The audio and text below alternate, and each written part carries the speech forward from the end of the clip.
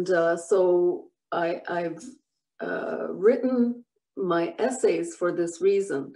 So I wrote about um, uh, the essay for seminar, Young Girls Were Harmed in the Making of This Dance, because I, I was sick and tired of, of reading these academic uh, writing about Bharatanatyam where no word, not even one word is given to the young girls who suffered at the hands of their patrons.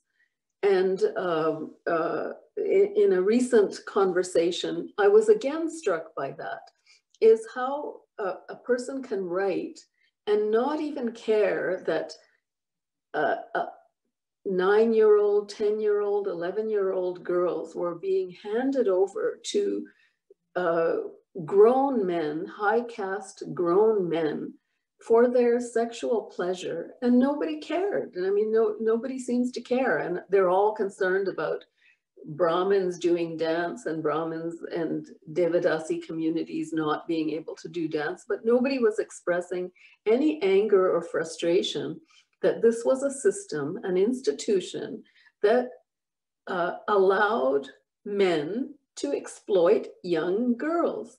And the only person who seemed to be angry about it at the time was Muthulakshmi Reddy. She came from that community. It's, it's uh, in, the, in the recent um, uh, discussion that I heard with Devika in VR Devika in Madras, she was saying that, that a young girl of 13 from the Devadasi community died during pregnancy. And that's what provoked her to action. Why should a 13 year old girl be pregnant in the first place? I mean, it's ridiculous. And just the way we got rid of the institution of child marriage, we got rid of the institution of um, dedication of young girls, the abolition of the dedication, for this reason. It's not okay to exploit young girls whether it's for an art form or whatever you say. And, and uh, in, in that discussion, Amrit Srinivasan equated the dedication of young girls to arranged marriage. But we have a law that prevents uh, young girls from, be, from being uh, forced into an arranged marriage. And what we did at that time in, in I mean, Muthulakshmi Reddy started in 1927. It wasn't made a law until 1947.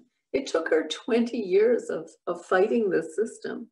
And, you know, it, it horrifies me. It horrifies me. People are so upset by the Me Too thing. Somebody, somebody um, uh, groped a woman's breast in an elevator and now it's a huge big case but why why are you so concerned about this girl in the elevator and you're not concerned about the young Devadasi girls who who they came from low caste?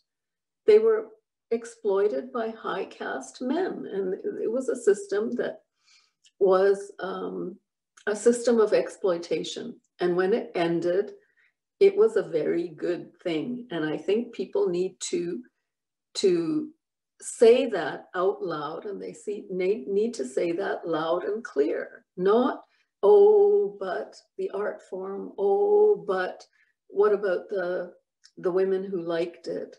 Yeah, you know, Chinese foot binding, the women who did the Chinese foot binding were other women.